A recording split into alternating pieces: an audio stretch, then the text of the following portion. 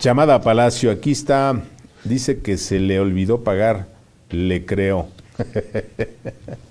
pues sí, embajador de México en Argentina. che, güey.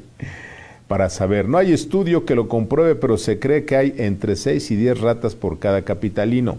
A ver, no le bajen porque ya no alcanzo a ver del otro lado. Eso explica tanta inseguridad. De esas seis, todas estarán armadas. no, bueno. Ajá. ¿Cómo ven los maestros dando clase? No. Son de la CENT, sin duda, ya sabe, ¿no? Embajador en Argentina, cartilla moral, dice, ni madres, esa no me la robo ni para calentar, madurar aguacates, ¿no? O papayas. Carta al gusto.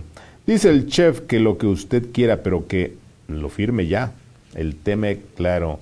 ¿no? Estamos a expensas, nos pusimos de tapetes. ¿Por qué cree que no dejaron que los empresarios intervinieran? Porque hicieron chingadera y media con ese tratado. Esto no es una deuda. 2.400 millones de Veracruz. No, nomás vea, ¿eh? puro chango. No es una deuda es un, ¿qué dice abajo? Es un préstamo. Ajá, sí, güey, ¿y quién lo va a pagar?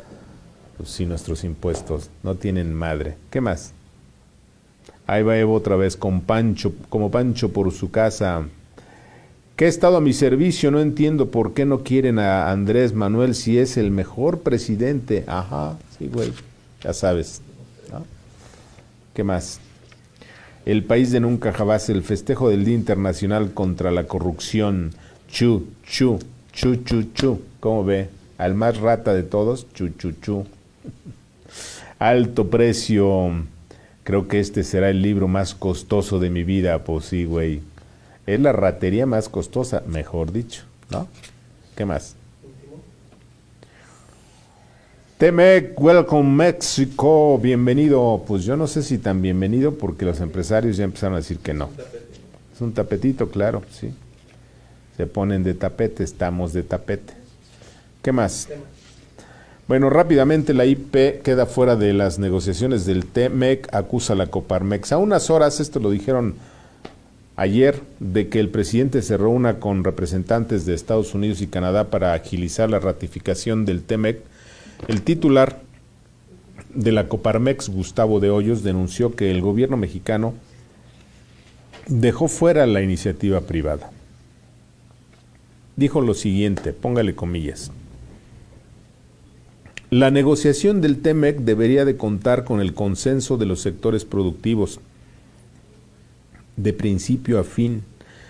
En la definición del protocolo modificatorio del TEMEC, el Consejo Consultivo y el cuarto de junto fueron marginados, describió De Hoyo desde su cuenta de Twitter.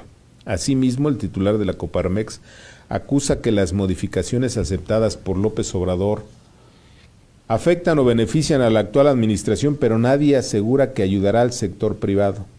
Y es que Gustavo de Hoyos y los empresarios que confirman los órganos de consulta fueron una pieza clave en el inicio de la negociación del Tratado de Libre Comercio, por lo que consideran una ofensa haberlos sacado de las reuniones. Los dejaron fuera. Por eso, esta mamada que están hoy ahí presentando en Palacio, pues es una mamada cucha. ¿Sí entiende lo que es eso? ¿No? Bueno, luego pregunte ahí alguien al que más confianza le tenga para que se lo explique. ¿Me parece? Mire, este asunto del tratado ya le urgía a López Obrador porque se le está cayendo la economía, está a pedazos así. El crecimiento está en cero, las expectativas para el próximo año son cero, la violencia está a todo lo que da, el desempleo está creciendo y no saben cómo hacerle porque son unos inútiles, además de imbéciles y estultos. Entonces, ya andan corriendo, de pronto, creo que fue Joaquín López Doria el que puso ahí en una columna de ayer o antier, de pronto les entró la apuración, córrele cabrón, pues ¿qué vamos a hacer? Pues sí. Y entonces para acelerar todo, se bajaron los pantaloncitos y dijeron, hagan de mí lo que quieran. Es decir, la soberanía mexicana fue pisoteada. Los empresarios fueron sacados para que no chinguen, para que no molesten. Por eso este MEC va a salir mal, cucho y chafa. Y luego, por si fuera poco, acuérdese usted que la mayoría de las mercancías se mueven por barco porque es lo más económico o lo menos caro. Por lo menos la industria automotriz, la industria del acero, la industria del cemento, todo eso se mueve por mar. Pues resulta que la Cámara de Diputados va a discutir hoy en una sesión al vapor, sin parlamento abierto. ¿Qué es parlamento abierto? Sin escuchar a las voces de los que están, este, eh, pues se deben beneficiar o, o, a los que puede perjudicar esto. Una serie de reformas a la ley orgánica de la Administración Pública Federal, a la ley de navegación y comercio marítimo y a la ley de puertos, situación que profundizará la militarización en el mar. Mire, con este asunto se eh, trata de poner en manos de militares todo lo que tiene que ver con el comercio marítimo. ¿Se chingó?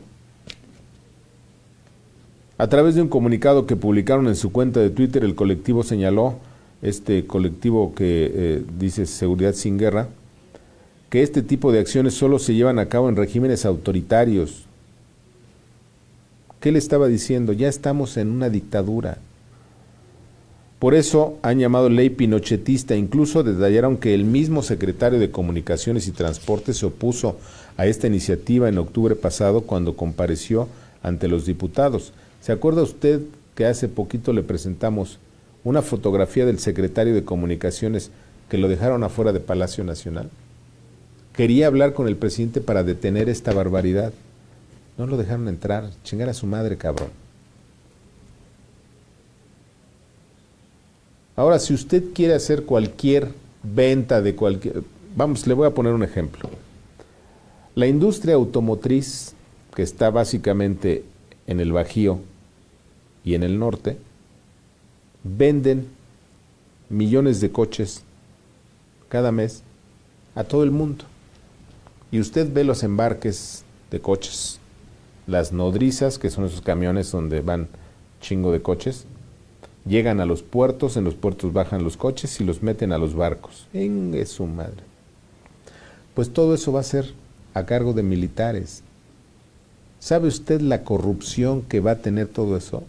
Se va a disparar la corrupción y si usted quiere vender un coche y le costaba 10 pesos ponerlo en el otro lado del mundo, o le va a costar 100 pesos, lo cual va a ser inviable y va a tronar todo.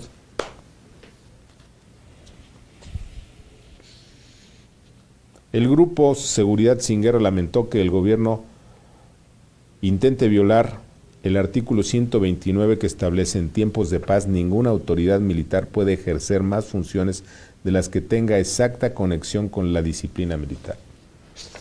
Es decir, los militares no pueden estar haciendo el aeropuerto, no pueden estar haciendo eh, puertos y, y controlando los puertos y demás. Se da cuenta cómo poco a poquito, por goteo, la dictadura de López está presente? ¿O no lo entiende? Chinga.